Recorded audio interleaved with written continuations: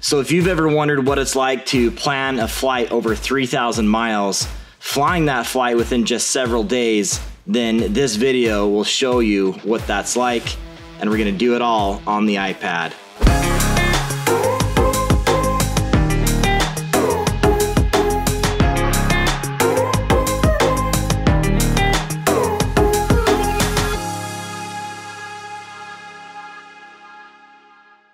All right, welcome everyone. My name is Chris Palmer from Angle of Attack, and I'm broadcasting to you today from my studio here in Alaska. So, you guys have seen some of the recent videos. You saw the announcement of the fact that we're flying this Cessna 172 2-3 uniform from Homer, Alaska, all the way down to Oshkosh, Wisconsin.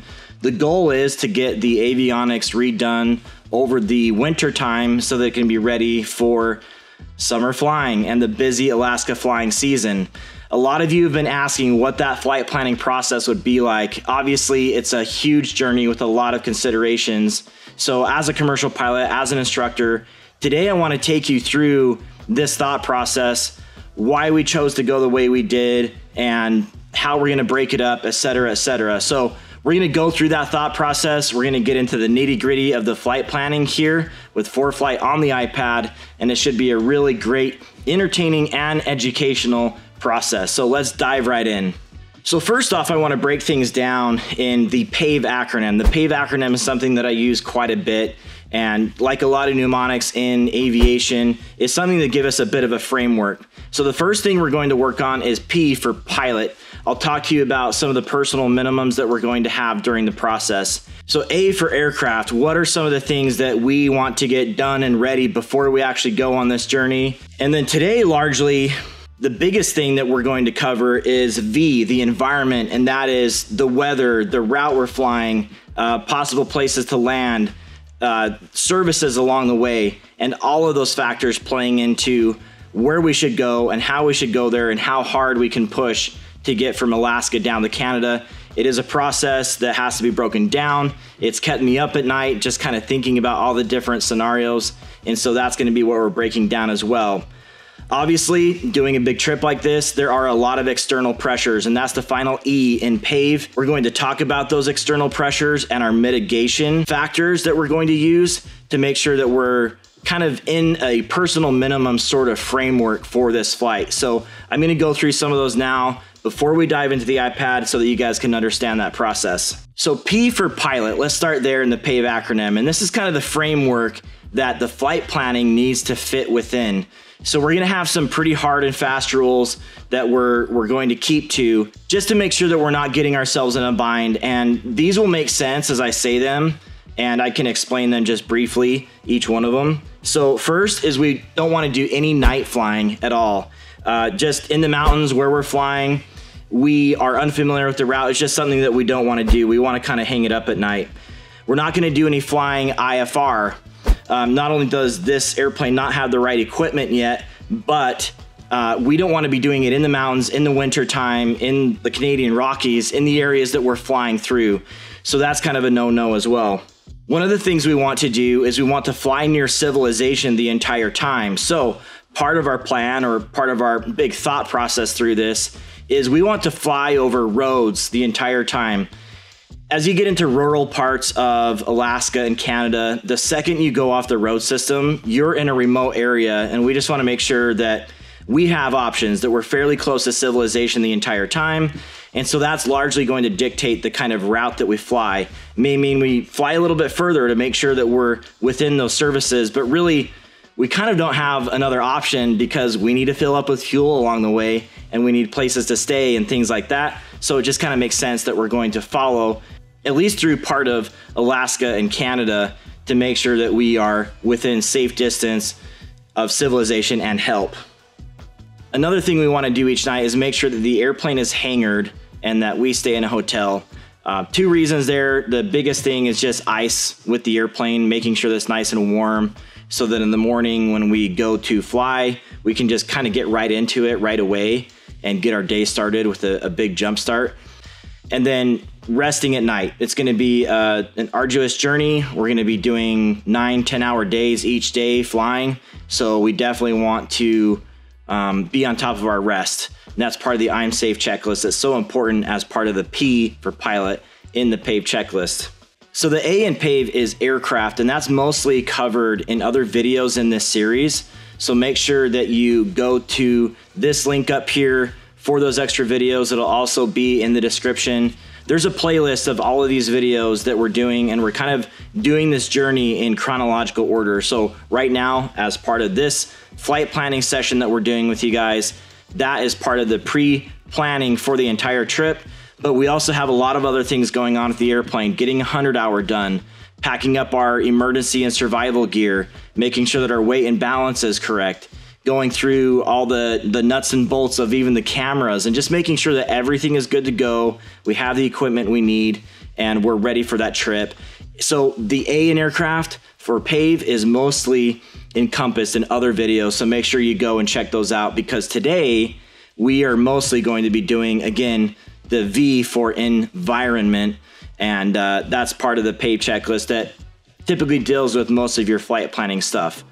So now what we're gonna do is I'm going to pull up the iPad and we're just going to go through this entire journey kind of beginning to end, kind of start big picture and talk about some of the things that are considerations on this trip.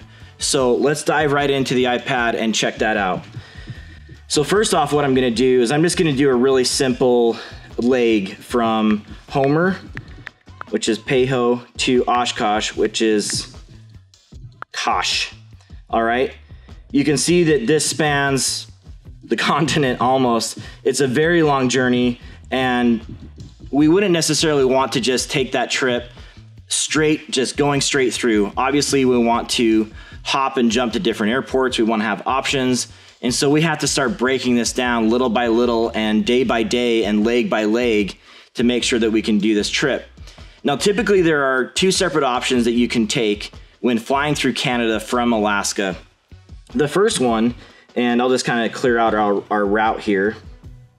The first one is to fly from, fly basically down what's called the Inside Passage, and you would go down to the Seattle area, to the Washington area, and then we could go to the east from there. Um, the problem is that the weather almost all times a year is is worse than inside or inland. So it's really tricky there. There's just a lot of weather on the coast, a lot of low weather. Of course, during the winter, you're not just dealing with rain and clouds and low ceilings, but you're dealing with icing, freezing rain, and and just storms that are unpredictable. It could kind of keep us down for days.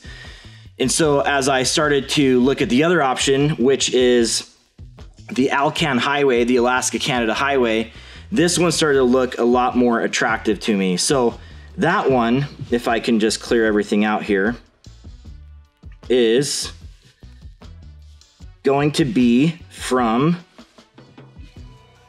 Homer and I'm just gonna draw a really crude line because I don't quite have this laid out, but it's gonna kind of be like this. All right, and then from there we would um, we would go southbound a little bit. So that's the Alcan Highway route. As I was laying awake in bed late many nights, looking at the weather on the coast, looking at the weather in say Whitehorse or Watson Lake or uh, Fort Nelson, which are some airports that we'll be passing through. I just noticed that time and time again, the weather was better interior rather than on the coastline. And so as I juggled the options and thought, hey, you know, if I'm going to go for this, give myself two weeks to do the whole trip. Um, obviously, not wanting to give myself any undue external pressure, but still wanting to do it in a fast, ma- uh, uh, an efficient manner. Maybe not so fast, I just want to be smart. Um, it just made sense that even though it would be a little faster theoretically to go along the coastline, you get down south faster, you get to warmer weather faster. It didn't really make all that much sense because there were going to be times where likely we'd be stuck at airports for days at a time and the services aren't that good anyway and the options aren't that good along the way. We just have very few options on our way down. The plus side of that is we wouldn't have to deal with customs or anything. We would just do one stop in Canada for fuel, and that would be it. and they would let us through to go down to Port Angeles and Washington. That's a likely route. But basically, we've ended up on the fact that we are going to fly the interior or the Alcan Highway. So I kind of did this crude drawing here, and now I want to show you day by day how that's broken down and how we can start to kind of build that out. I think a fun exercise to just start this process would be to do that route again from Homer to Oshkosh, and then just start to kind of uh, pick the different airports and slide that route to the different airports that are going to work. So let me show you what that process is like, and we'll do that right now. So I still have that Homer to Oshkosh in here. I'm just going to hit go again. That brings that up. I'm going to go to aeronautical uh, charts and we are going to stop for fuel in Anchorage. Let's do just airports. So Anchorage, we're gonna go up to Palmer and pass over that. And I'm just gonna start picking these airports that we're following along the way. This is Tok, Alaska, which would be one of our last stops. And then we start to follow the Alcan Highway. The Alcan Highway doesn't go through all of Alaska, it just goes through part of the Canadian Rockies and like eastern Alaska. So once we get to Tok and start to make our way down to Whitehorse, Watson Lake, Fort Nelson, that's all the Alcan Highway. So we'll just start to draw kind of some crude lines here. Of course, the flight planning would be a little bit more involved when we actually go and do it, but we're following the road here. Hey y'all, a real quick message here. If you're enjoying this video and doing flight training now or in the near future, check out our online ground school pass the written test, prepare for flight training, and become a safe aviator. And you get to support this channel at the same time. Join today at angleofattack.com. All right, back to the video. So let me pull this route down here. There's Whitehorse. Um, you can see the road right here on the map. So this line here is the road, and it even says the Alaska Canada Highway which you can see there. All right, so I'm gonna clear that again. All right, so then we want to go down into this area, fly over that. We're gonna just hop and skip to different airports along the way, following the highway. Again, this isn't a perfect flight plan compared to what we're gonna be doing. There's Watson Lake, Here's Fort Nelson. You can see that the terrain on the left-hand side of the map is starting to die out. We're starting to get more into the the uh, the Alberta area, or rather, where the Rocky Mountains are dissipating and getting into more plains and farmland and just flatter, which is nice. So, so then that's Fort Nelson. Now here is here's a conundrum right here already because we really could fly from Fort Nelson and just kind of hop and skip our way down through Canada and end up in Wisconsin. That's actually a pretty good way to go. Uh, once we're out of the Rockies, we have a lot more options in terms of airports. But one of the considerations we had is hey, the biggest thing we're thinking about in terms of safety and things is cold weather. And what about just getting south as fast as we possibly can and getting to warmer weather? So we found that we could cross customs in Great Falls, Montana. It would take us, as you'll see here, I'll just kind of drag this one down. It's going to be a big leg. Kind of takes us along that edge of the mountains there all the way down. Of course, we're going to be stopping at different airports here, like Grande Prairie is a good option. Uh, so is Fort St. John. And Calgary is another option. These are all very big places, okay? Lethbridge, uh, all great services. So we have some options there as well. Then we get to the USA, and from there it's fairly simple. Of course, weather, you know, you, you never know this time of year. But then I'm kind of looking right underneath our route as we push our way east and what airports are there. I see uh, Dickinson. So we'll put Dickinson in there. Uh, what else we got? Kind of puts us through the Minneapolis area. We don't necessarily have to go through that area, so I'm going to say let's go just north of there somewhere. I'm just picking out a random airport for now. And then one last leg to Oshkosh. So there it is. There is the route in its entirety. And it's a, a pretty big route. Let's see what our flight plan says in terms of miles 2,800 miles. And, uh, and probably plus some because we're going to be weaving through the mountains, not that perfect line. So it's definitely going to be more than 3,000 miles going down. It's a crazy route. So we could start to calculate how much time that's going to be.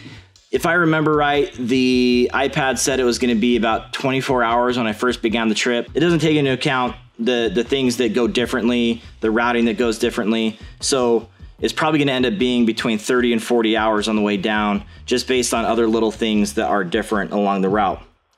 So, quite the trip.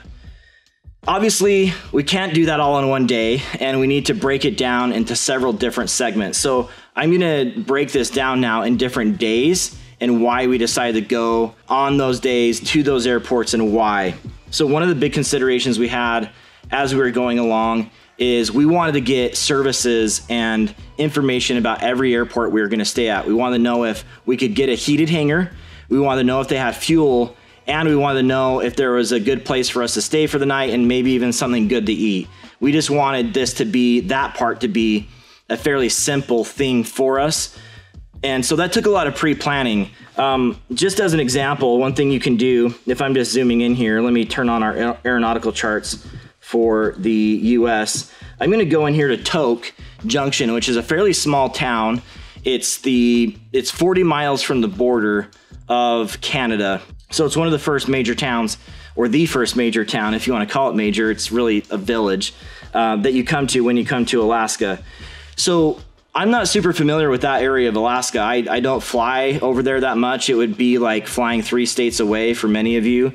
So I'm just not up there that often, and I don't know that many people, and I don't know what kind of services they have. So one thing you can do in ForeFlight is you can click on the airport, and you have information if you click on FBOs that is there. So obviously not a lot of information here. We've got 40 Mile Air and Fast Eddie's restaurant. Um, but this gives us gas prices, it gives us a number to call, and uh, we can just start talking to people along the way. We can call 40 Mile Air in this case. We can ask them if they have a heated hangar. We can ask them any other services, closing times, things like that that we need just make sure that we aren't painting ourselves in a corner when it comes to those things. That's kind of that. We did that for almost every single airport along the way. We reached out to people on Facebook through different Facebook community groups and asked if anyone would help along the way, especially in Canada where we really don't know anyone. And, and a lot of people uh, have come forward and are willing to help depending on where we stop along the way. So that's the thing is we kind of don't know where we're going to be every night. We're just going to go as far as we can. Sometimes that'll be shorter than we want to go, and sometimes that'll be further. Then once we're there, we know already that we have those services, and we're not really stressed about it. So that's kind of kind of big picture thinking is just making sure we have the support and services along the way as we go throughout this flight. So now what I'm going to do is I'm going to show you, as I said, day by day what we're gonna do and where we're gonna go. So let me kind of just break this down. First, I'm gonna go to my favorites. Um, I have my favorites saved here. I'm gonna look at part one. So ideally, our plan would be to get into Canada on the first day. We'd fly all the way from Homer, all the way over to Whitehorse. We know some good people in Whitehorse that will hangar us for the night. Um, Whitehorse is a fairly large city. There are places to stay there, places to eat. We can get a heated hangar. So that is ideally where we would want to go the first day. Um, this isn't a huge flight. It's going to be 633 miles. So we will do a fuel stop halfway, which could either be Anchorage, where we have some, and actually it's Merrill Field. We have some friends at Hangar 49 there that will hangar us, and they have fuel. And uh, we also have Tok as an option. There aren't a lot of great places to stay in Gulkana. There's not a heated hangar, so that's not really a great option. Uh, we could make it work if there's an emergency. I do have a contact there, but I'm not sure about getting a hangar there. So I kind of want to avoid staying there if we had to. I'd rather stay in Merrill with Hangar 49 than Gulkana. It's really only an hour and change flight difference anyway. So then from Tok, we would get all of our border clearance stuff with both the US telling them that we're leaving and with Canada tell them that we're coming and get clearance to come in. They'll get our passports and everything ahead of time. And we already have a bunch of paperwork. We'll talk about that in a separate video. And then we'll go on into Whitehorse and stay the night there. Um, there's really only one option for that because the the airports that are further down the road, Watson Lake and Fort Nelson are not good places to stop. So it's kind of like we have to stage in Tok or Whitehorse to start the day. There's not really a great option to stay anywhere else, and we kind of have to do that entire run in one day. Of course, if we have to, we'll make it work. We have the wing covers, we have emergency gear, a bunch of other things to help us out. So that's day one. It would be ideal if we could get into Canada um, of course, knowing that along the way we have places we could stop if we absolutely need to. So, looking at part two, part two, we would go from Whitehorse to Fort St. John or Grande Prairie.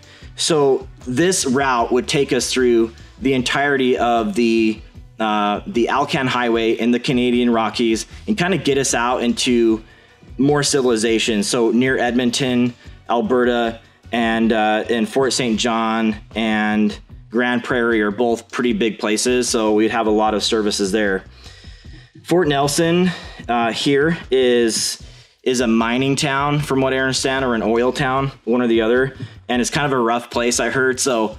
I heard the hotels weren't good and all sorts of stuff. That could be just rumor, but I was told that avoid staying there if you can and and the the gas prices are really expensive there too. So I can imagine it just being very very expensive to stay there. I think they told us it'd be four hundred dollars for a hangar for a night, and I just don't like the thought of staying there. I'd rather get south faster. So uh, we take off from Whitehorse.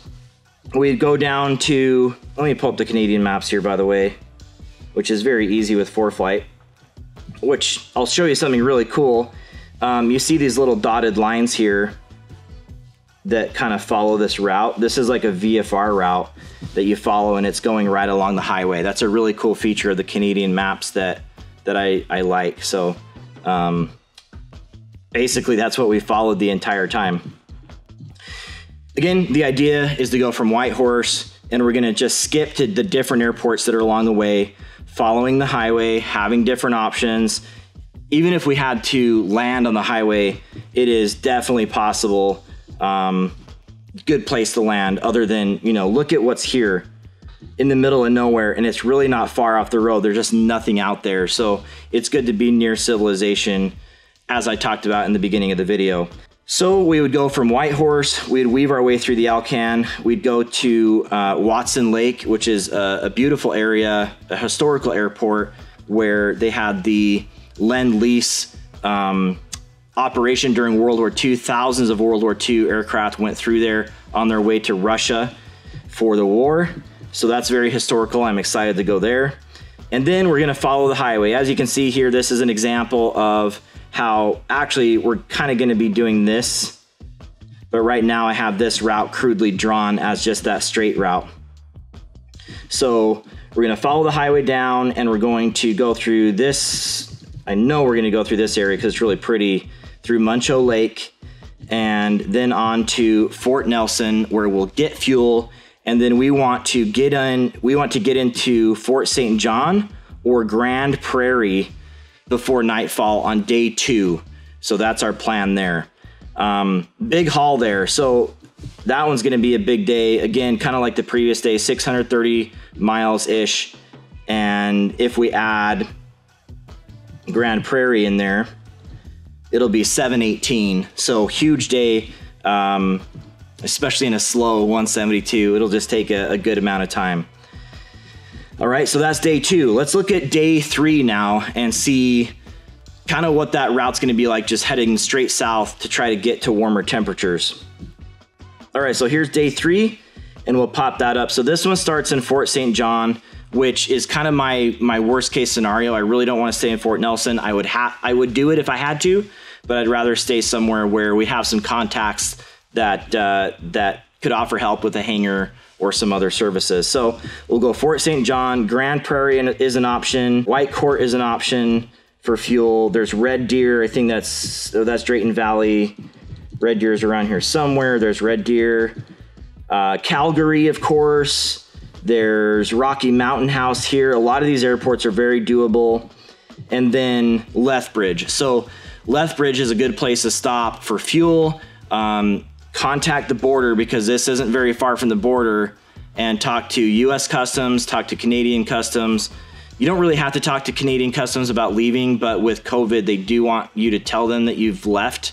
So that is one thing. But you, we definitely need to get permission by the United States to come back in for them to expect us. So we will call them up, give them our estimated time of arrival. That's going to be a lot easier to do precisely from the ground.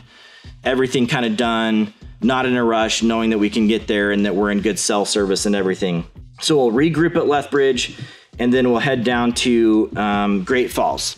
Great Falls for the night, check in with customs, get everything settled in there back in the USA, and then we're set up for our final day, which is gonna be day four of travel. This is all like kind of pie in the sky, by the way. This is this is pretty big flying each day. I'm not sure it's really gonna happen so we get into part four, which I showed you guys a second ago, which is basically just gunning it eastbound uh, almost as fast as we can. So we go from Great Falls, Montana. We start to get into North Dakota, um, passing Dickinson, Bismarck, both good airports. And you can just see how many airports now we have along the way as options. You almost don't have to do your homework here. It is still good to know the cities that you can stay in, but almost, you know, the United States just has such a different airport system, especially the lower 48, that we just have a lot of options. But lots of places to stop. We're mainly stopping for fuel,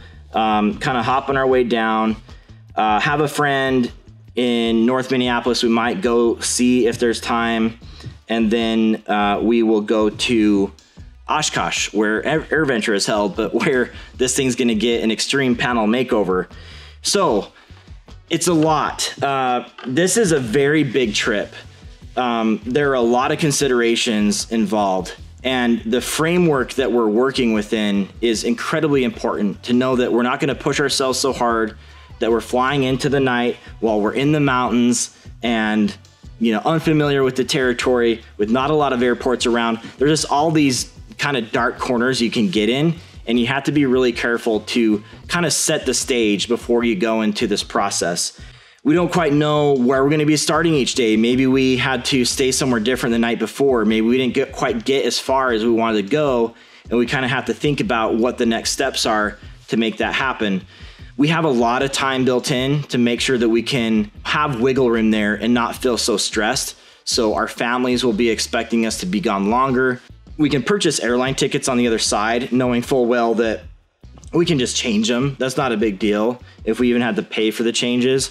So there are all these little things that kind of add to the external pressure, and we want to just take that away. We want to plan the trip well with ForeFlight. We want to have a structure in order to do it safely. And then once we get into it, we're just going to be executing it every day, making sure that our weather is good, our services are good, the aircraft is working great, and we have a, a more granular plan for each leg as we go through it. So these are all things that are coming. We are actually going to be flying this trip, and you guys get to see it because I've got cameras all over the plane. It's going to be a, a very interesting process to not only fly, but to fly through Canada and to fly during the winter. It's just a big adventure and it's going to be a lot of fun. So make sure that you subscribe and not only subscribe, turn on that notification bell and click all notifications.